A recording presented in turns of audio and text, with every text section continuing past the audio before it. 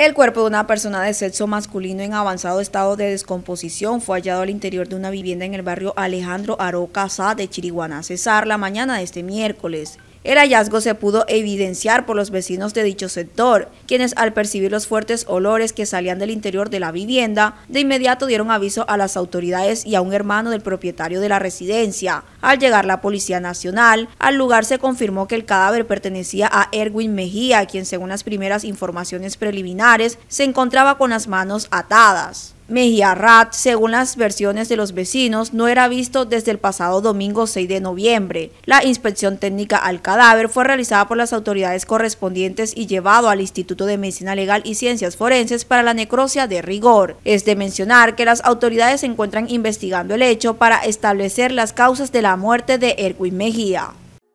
Ricardo Rojas Osorio, especialista en moda masculina y femenina diseñada y confeccionada de manera exclusiva. Agenda tu cita en el celular 318-401-0676. Ricardo Rojas Osorio, confección y elegancia.